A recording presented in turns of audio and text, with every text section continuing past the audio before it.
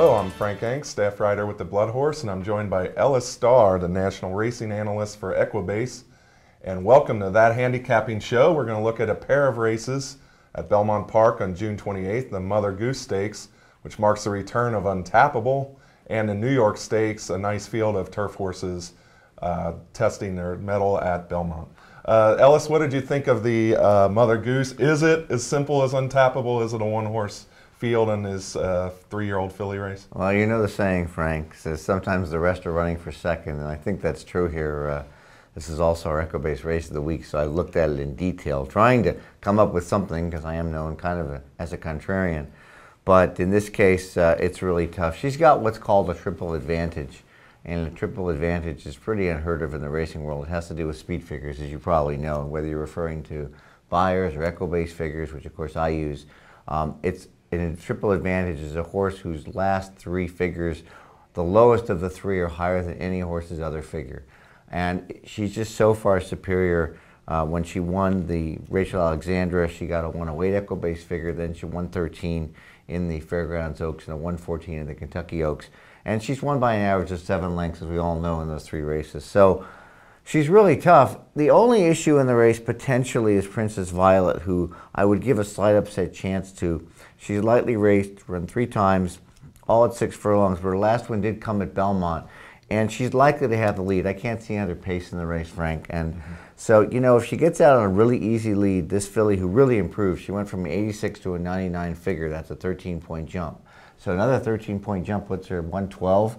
It's possible that even Untapable can't run her down, even though I doubt it. So I'd make the race Untapable probably as top pick. Of course, no value in the race. Uh, if you're going to play an exacta, Princess Violet for second, and Stopchargingmaria would be the other horse that deserves a look to run second in the exacta based on her Black Eyed Susan win. And the fact that I like, after two bad races to start a campaign, Castellano got back on for the Black Eyed Susan, and Javier had been up for both her wins last year, the Tempted and the Demoiselle, um, and got back on. So he's really been up for three of her big wins. Yeah, I mean, you can never go too wrong as a handicapper of just tossing every favorite but in this field, I can't get past Untapable. We also love the sport, and to me, she just looks like a filly that's on another level right now. The layoff might be a concern sometimes, but Steve Asmussen has said more than once that this filly likes a little rest in between her races. Her works at Churchill have been eye-catching, have been just what you wanted. She looks right on schedule to pick up right where she left off. Underneath, a horse that does intrigue me is America. Granted, this filly's finished behind some of the other horses in here uh, in recent races, but I really like the second half of her race at Pimlico. It was kind of a slow early race where she closed well. Um, also had some trouble early, but really came on strong at the end. And since then has had a string of nice works at Saratoga. I think Bill Mott might have had turned the corner with this filly. I look for her to hit the board. The other race that we thought we'd look at, which might be a bit more competitive in terms of we might not be so locked into the favorite, is the New York Stakes, uh, also on the card at Belmont Saturday. Ellis, where were you leaning in this race? Well, this is a great race. Even with six horses, I tossed out three, Viva Raffaella, Scampering, Gathering, and I'm left with three. And they're very evenly matched. Tannery, Riposte, and Inimitable Romanee. Inimitable Romanee is kind of a favorite of mine because she's got those two big upsets, three upsets in the last four races all double digits. I don't think she'll be double digit odds today in the six horse field. But even though she, her wins came in grade three and she's stepping up to grade two, the fact that she won the Long Island at a mile and a half last fall at Aqueduct and recently won the Bewitch off the pace at Keeneland says to me she's pretty tractable.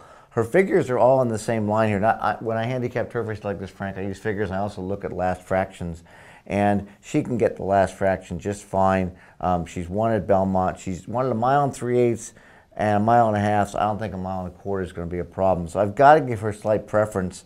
Uh, Tannery came back in a really easy kind of a gimme race, the uh, Miss Liberty Stakes at Monmouth off a layoff from November to May, but her best is good enough. She's a grade one winner, and Riposte finally showed her stuff in her fourth U.S. start, winning the Sheepshead Bay.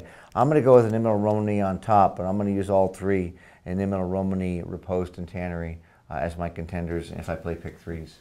I like uh, inimitable, inimitable Romanee and Tannery as well, but neither one of those is my top pick. I went with Scampering in this race. Uh, it could be the rare situation where you actually get a price on Shug McGaughey in New York. Um, but this this horse has been this mare has been knocking on the door. So it's just kind of been been close throughout her career. Um, I just think last time she ran against a fairly major bias on the turf at Belmont, uh, so maybe she didn't get her best effort there. So I'm giving her a little more credit for that one. If, I, if you do that, that kind of puts her right there with some other horses, and she figures to be a bit longer price.